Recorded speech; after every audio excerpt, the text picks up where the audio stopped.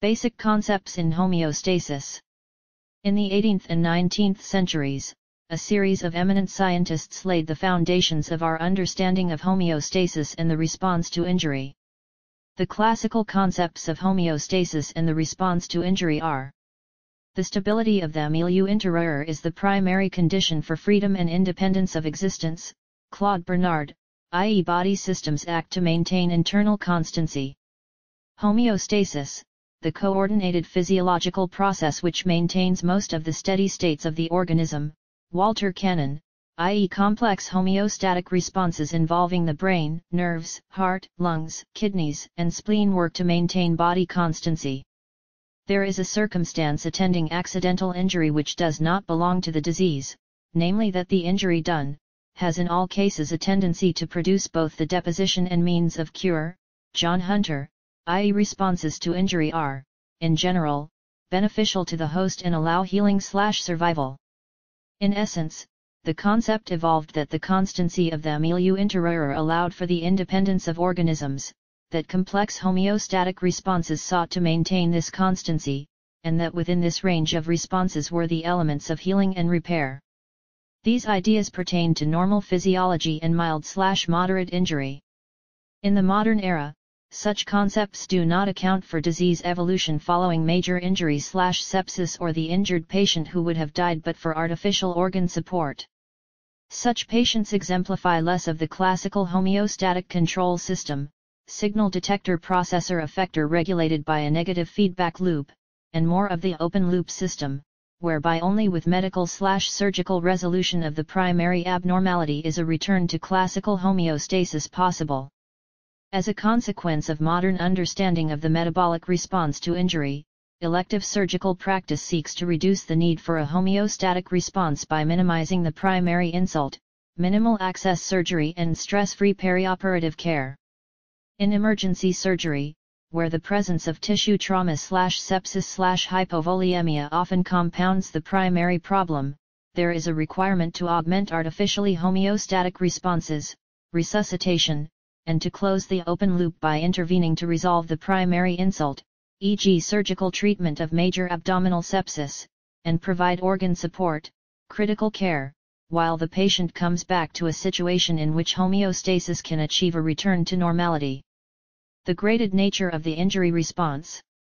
It is important to recognize that the response to injury is graded, the more severe the injury, the greater the response. Figure 1.1 this concept not only applies to physiological slash metabolic changes but also to immunological changes slash sequelae. Thus, following elective surgery of intermediate severity, there may be a transient and modest rise in temperature, heart rate, respiratory rate, energy expenditure, and peripheral white cell count. Following major trauma slash sepsis, these changes are accentuated, resulting in a systemic inflammatory response syndrome, SIRS, hypermetabolism, marked catabolism, shock, and even multiple organ dysfunction, MODS. It is important to recognize that genetic variability plays a key role in determining the intensity of the inflammatory response. Moreover, in certain circumstances, the severity of injury does not lead to a simple dose-dependent metabolic response, but rather leads to quantitatively different responses. Not only is the metabolic response graded, but it also evolves with time. In particular, the immunological sequelae of major injury evolve from a pro-inflammatory state driven primarily by the innate immune system, macrophages, neutrophils, dendritic cells, into a compensatory anti-inflammatory response syndrome, CARS, characterized by suppressed immunity and diminished resistance to infection. In patients who develop infective complications, the latter will drive ongoing systemic inflammation, the acute phase response and continued catabolism. Mediators of the metabolic response to injury. The classical neuroendocrine pathways of the stress response consist of afferent nociceptive neurons, the spinal cord, thalamus, hypothalamus, and pituitary, figure 1.2. Corticotrophin releasing factor, CRF, released from the hypothalamus increases adrenocorticotrophic hormone, ACTH, release from the anterior pituitary. ACTH then acts on the adrenals to increase the secretion of cortisol. Hypothalamic activation of the sympathetic nervous system causes release of adrenaline and also stimulates release of glucagon. Intravenous infusion of a cocktail of these counter-regulatory hormones, glucagon, glucocorticoids, and catecholamines, reproduces many aspects of the metabolic response to injury.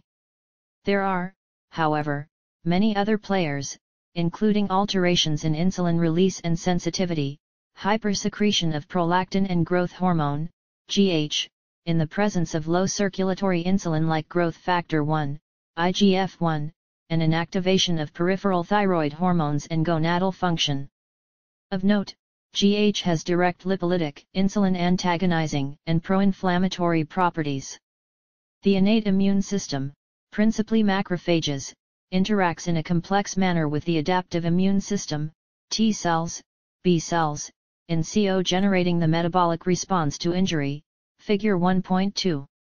Pro-inflammatory cytokines including interleukin-1, IL-1, tumor necrosis factor alpha, TNF-alpha, IL-6 and IL-8 are produced within the first 24 hours and act directly on the hypothalamus to cause pyrexia.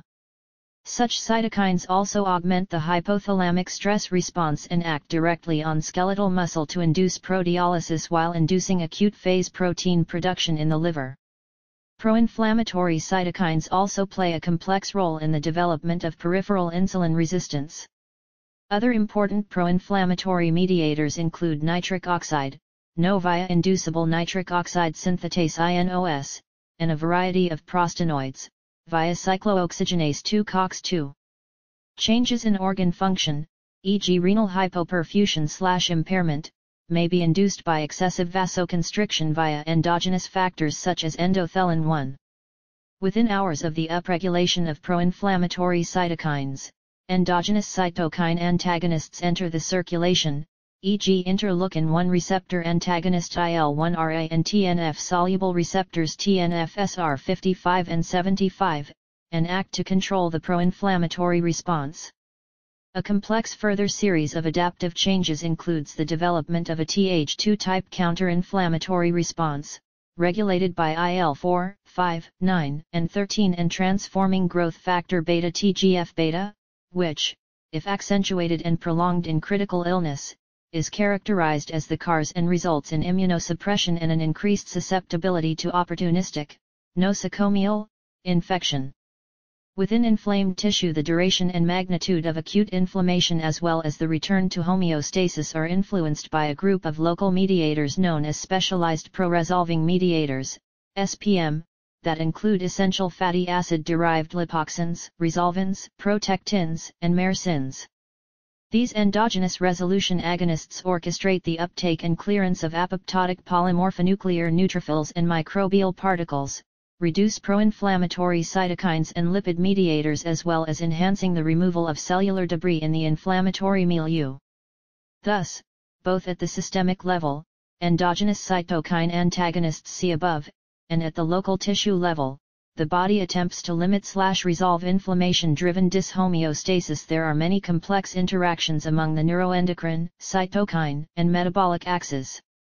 For example, although cortisol is immunosuppressive at high levels, it acts synergistically with IL-6 to promote the hepatic acute phase response.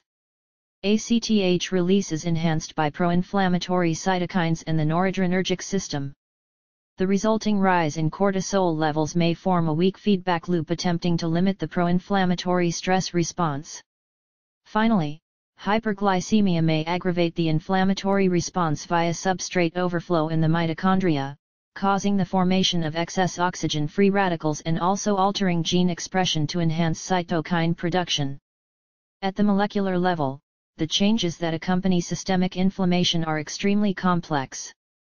In a recent study using network-based analysis of changes in mRNA expression in leukocytes following exposure to endotoxin, there were changes in the expression of more than 3,700 genes with over half showing decreased expression and the remainder increased expression. The cell surface receptors, signaling mechanisms, and transcription factors that initiate these events are also complex, but an early and important player involves the nuclear factor kappa B, NF kappa B, slash RELA family of transcription factors. A simplified model of current understanding of events within skeletal muscle is shown in Figure 1.3. The metabolic stress response to surgery and trauma, the ebb and flow model. In the natural world, if an animal is injured, it displays a characteristic response, which includes immobility, anorexia, and catabolism. In 1930, Sir David Cuthbertson divided the metabolic response to injury in humans into ebb and flow phases, Figure 1.4. The ebb phase begins at the time of injury and lasts for approximately 24-48 hours. It may be attenuated by proper resuscitation, but not completely abolished. The ebb phase is characterized by hypovolemia, decreased basal metabolic rate, reduced cardiac output, hypothermia, and lactic acidosis. The predominant hormones regulating the ebb phase are catecholamines, cortisol, and aldosterone, following activation of the renin-angiotensin system. The magnitude of this neuroendocrine response depends on the degree of blood loss and the stimulation of somatic afferent nerves at the site of injury. The main physiological role of the ebb phase is to conserve both circulating volume and energy stores for recovery and repair. Following resuscitation, the ebb phase evolves into a hypermetabolic flow phase, which corresponds to SIRS. This phase involves the mobilization of body energy stores for recovery and repair, and the subsequent replacement of lost or damaged tissue. It is characterized by tissue edema, from vasodilatation and increased capillary leakage, increased basal metabolic rate, hypermetabolism, increased cardiac output, raised body temperature, leukocytosis, increased oxygen consumption and increased gluconeogenesis. The flow phase may be subdivided into an initial catabolic phase, lasting approximately 3-10 days, followed by an anabolic phase, which may last for weeks if extensive recovery and repair are required following serious injury. During the catabolic phase, the increased production of counter-regulatory hormones, including catecholamines, cortisol, insulin, and glucagon, and inflammatory cytokines, e.g. IL-1, IL-6 and TNF-alpha, results in significant fat and protein mobilization, leading to significant weight loss and increased urinary nitrogen excretion. The increased production of insulin at this time is associated with significant insulin resistance and, therefore, injured patients often exhibit poor glycemic control. The combination of pronounced or prolonged catabolism in association with insulin resistance places patients within this phase at increased risk of complications. Obviously, the development of complications will further aggravate the neuroendocrine and inflammatory stress responses, thus creating a vicious catabolic cycle. Key catabolic elements of the flow phase of the metabolic stress response. There are several key elements of the flow phase that largely determine the extent of catabolism and thus govern the metabolic and nutritional care of the surgical patient. It must be remembered that, during the response to injury, not all tissues are catabolic. Indeed, the essence of this coordinated response is to allow the body to reprioritize limited resources away from peripheral tissues, muscle, adipose tissue, skin, and towards key viscera, liver, immune system, and the wound. Figure 1.5. Hypermetabolism The majority of trauma patients, except possibly those with extensive burns, demonstrate energy expenditures approximately 15-25% above predicted healthy resting values. The predominant cause appears to be a complex interaction between the central control of metabolic rate and peripheral energy utilization.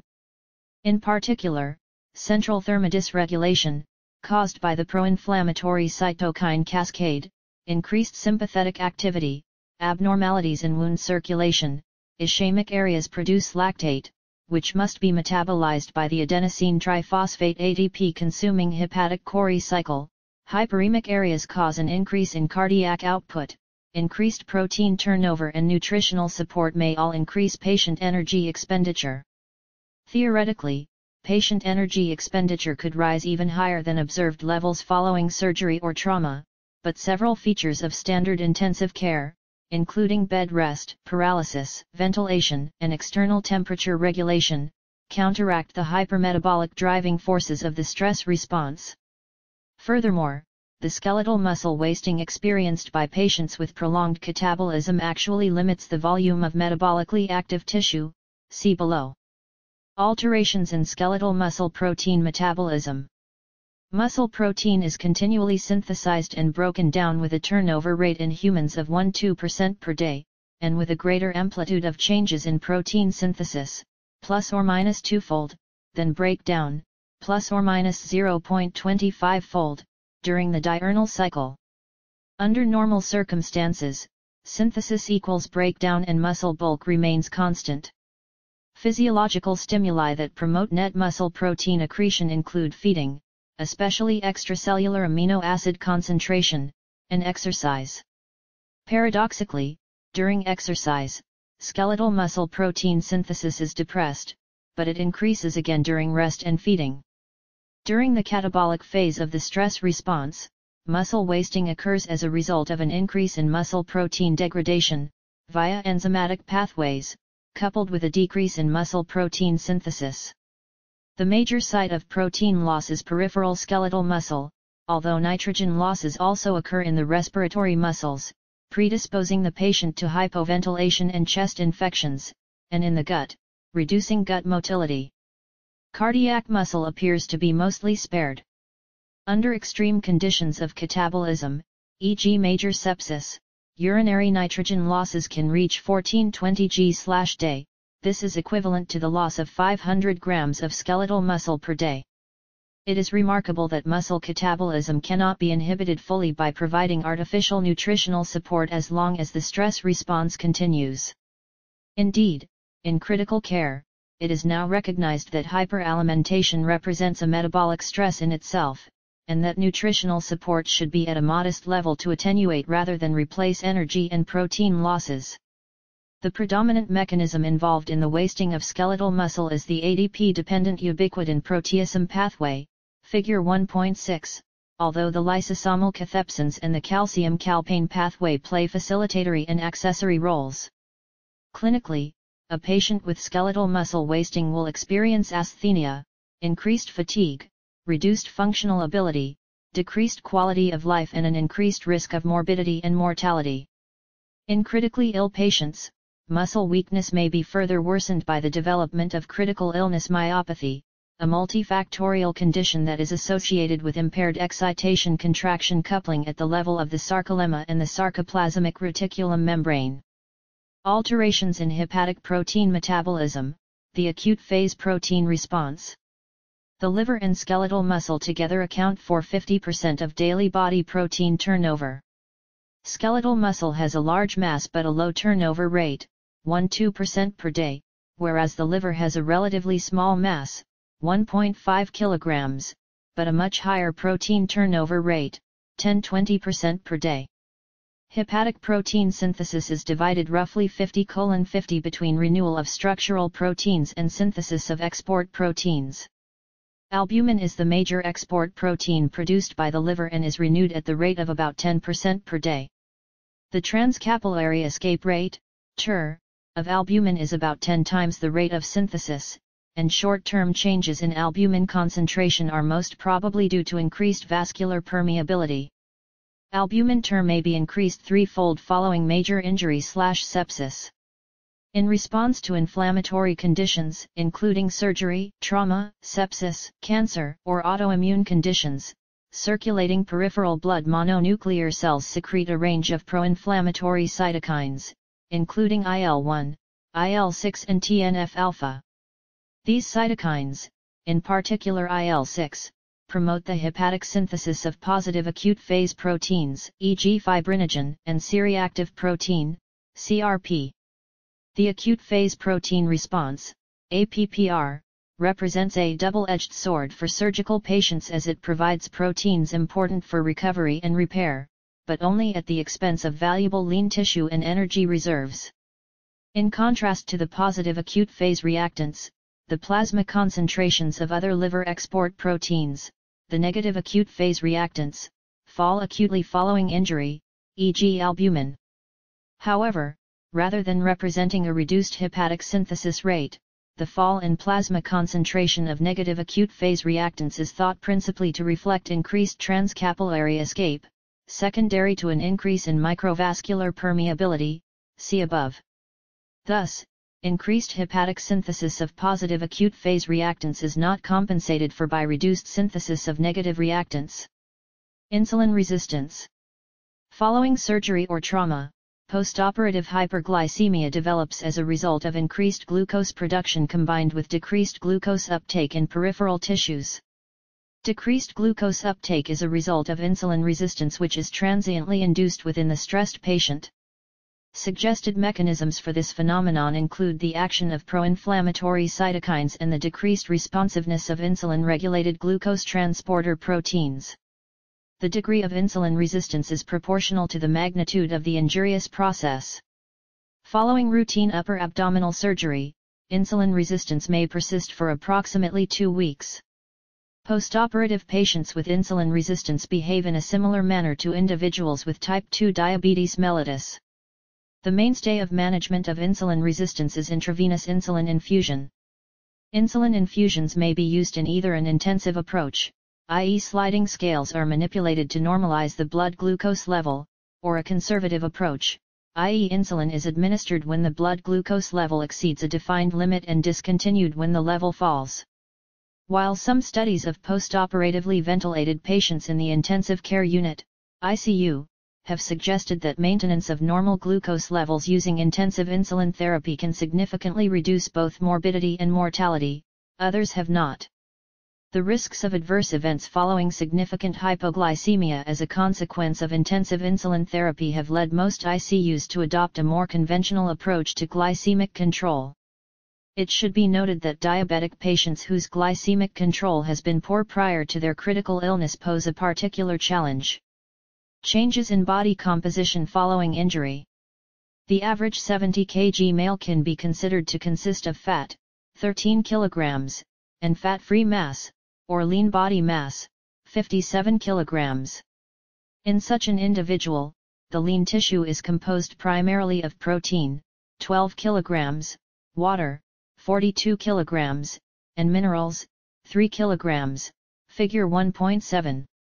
The protein mass can be considered as two basic compartments, skeletal muscle, 4 kg, and non-skeletal muscle, 8 kg, which includes the visceral protein mass.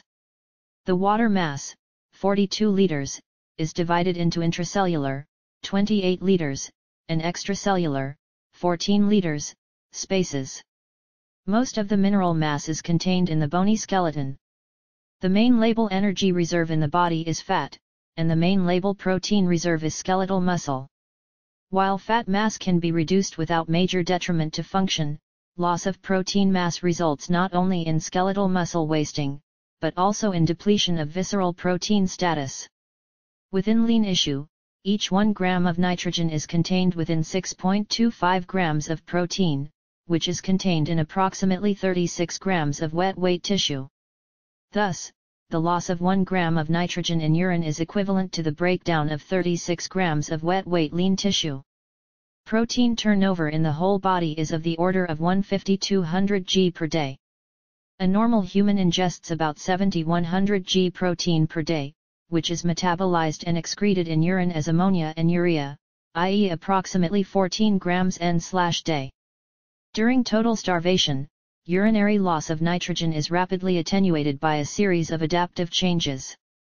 Loss of body weight follows a similar course, figure 1.8, thus accounting for the survival of hunger strikers for a period of 50-60 days. Following major injury, and particularly in the presence of ongoing septic complications, this adaptive change fails to occur, and there is a state of autocannibalism, resulting in continuing urinary nitrogen losses of 10-20 gn/day, equivalent to 500 grams of wet weight lean tissue per day. As with total starvation, once loss of body protein mass has reached 30-40% of the total, survival is unlikely. Critically ill patients admitted to the ICU with severe sepsis or major blunt trauma undergo massive changes in body composition, figure 1.8. Body weight increases immediately on resuscitation with an expansion of extracellular water by 6-10 liters within 24 hours. Thereafter, even with optimal metabolic care and nutritional support, total body protein will diminish by 15% in the next 10 days, and body weight will reach negative balance as the expansion of the extracellular space resolves. In marked contrast, it is now possible to maintain body weight and nitrogen equilibrium following major elective surgery. This can be achieved by blocking the neuroendocrine stress response with epidural analgesia slash other related techniques and providing early oral slash enteral feeding. Moreover, the early fluid retention phase can be avoided by careful intraoperative management of fluid balance, with avoidance of excessive administration of intravenous saline. Avoidable factors that compound the response to injury. As noted previously, the main features of the metabolic response are initiated by the immune system, cardiovascular system, sympathetic nervous system, ascending reticular formation and limbic system. However, the metabolic stress response may be further exacerbated by anesthesia, dehydration, starvation, including preoperative fasting, sepsis, acute medical illness or even severe psychological stress, figure 1.9. Attempts to limit or control these factors can be beneficial to the patient. Volume loss. During simple hemorrhage, pressor receptors in the carotid artery and aortic arch, and volume receptors in the wall of the left atrium, initiate afferent nerve input to the central nervous system, CNS, resulting in the release of both aldosterone and antidiuretic hormone, ADH. Pain can also stimulate ADH release. ADH acts directly on the kidney to cause fluid retention. Decreased pulse pressure stimulates the juxtaglomerular apparatus in the kidney and directly activates the renin-angiotensin system, which in turn increases aldosterone release. Aldosterone causes the renal tubule to reabsorb sodium, and consequently also conserve water. ACTH release also augments the aldosterone response. The net effects of ADH and aldosterone result in the natural oliguria observed after surgery and conservation of sodium and water in the extracellular space. The tendency towards water and salt retention is exacerbated by resuscitation with saline-rich fluids. Salt and water retention can result in not only peripheral edema, but also visceral edema, e.g. in the stomach. Such visceral edema has been associated with reduced gastric emptying, delayed resumption of food intake and prolonged hospital stay. Careful limitation of intraoperative administration of balanced crystalloids so that there is no net weight gain following elective surgery has been proven to reduce postoperative complications and length of stay. Hypothermia Hypothermia results in increased elaboration of adrenal steroids and catecholamines. When compared with normothermic controls, even mild hypothermia results in a 2 to 3 fold increase in postoperative cardiac arrhythmias and increased catabolism. Randomized trials have shown that maintaining normothermia by an upper body forced air heating cover reduces wound infections, cardiac complications, and bleeding and transfusion requirements. Tissue edema. During systemic inflammation, fluid, plasma proteins, leukocytes, macrophages and electrolytes leave the vascular space and accumulate in the tissues. This can diminish the alveolar diffusion of oxygen and may lead to reduced renal function. Increased capillary leak is mediated by a wide variety of mediators including cytokines, prostanoids, bradykinin and nitric oxide. Vasodilatation implies that intravascular volume decreases, which induces shock if inadequate resuscitation is not undertaken. Meanwhile, intracellular volume decreases, and this provides part of the volume necessary to replenish intravascular and extravascular extracellular volume. Systemic inflammation and tissue underperfusion. The vascular endothelium controls vasomotor tone and microvascular flow, and regulates trafficking of nutrients and biologically active molecules. When endothelial activation is excessive, compromised microcirculation and subsequent cellular hypoxia contribute to the risk of organ failure. Maintaining normoglycemia with insulin infusion during critical illness has been proposed to protect the endothelium, probably, in part, via inhibition of excessive INOS-induced no release. Starvation During starvation, the body is faced with an obligate need to generate glucose to sustain cerebral energy metabolism, 100 grams of glucose per day. This is achieved in the first 24 hours by mobilizing glycogen stores and thereafter by hepatic gluconeogenesis from amino acids, glycerol, and lactate. The energy metabolism of other tissues is sustained by mobilizing fat from adipose tissue. Such fat mobilization is mainly dependent on a fall in circulating insulin levels. Eventually, accelerated loss of lean tissue, the main source of amino acids for hepatic gluconeogenesis, is reduced as a result of the liver converting free fatty acids into ketone bodies, which can serve as a substitute for glucose for cerebral energy metabolism. Provision of 2 liters of intravenous 4% dextrose slash 0. 18% sodium chloride as maintenance intravenous fluids for surgical patients who are fasted provides 80 grams of glucose per day and has a significant protein sparing effect. Avoiding unnecessary fasting in the first instance and early oral slash enteral slash parenteral nutrition form the platform for avoiding loss of body mass as a result of the varying degrees of starvation observed in surgical patients. Modern guidelines on fasting prior to anesthesia allow intake of clear fluids up to two hours before surgery. Administration of a carbohydrate drink at this time reduces perioperative anxiety and thirst and decreases postoperative insulin resistance. Immobility Immobility has long been recognized as a potent stimulus for inducing muscle wasting. Inactivity impairs the normal meal-derived amino acid stimulation of protein synthesis in skeletal muscle. Avoidance of unnecessary bed rest and active early mobilization are essential measures to avoid muscle wasting as a consequence of immobility. Concepts behind enhanced recovery after surgery Current understanding of the metabolic response to surgical injury and the mediators involved has led to a reappraisal of traditional perioperative care. There is now a strong scientific rationale for avoiding unmodulated exposure to stress, prolonged fasting, and excessive administration of intravenous, saline, fluids, figure 1.10. The widespread adoption of minimal access, laparoscopic, surgery is a key change in surgical practice that can reduce the magnitude of surgical injury and enhance the rate of patients' return to homeostasis and recovery. It is also important to realize that modulating the stress-inflammatory response at the time of surgery may have long-term sequelae over periods of months or longer. For example, beta blockers and statins have been shown to improve long-term survival after major surgery. It has been suggested that these effects may be due to suppression of innate immunity at the time of surgery.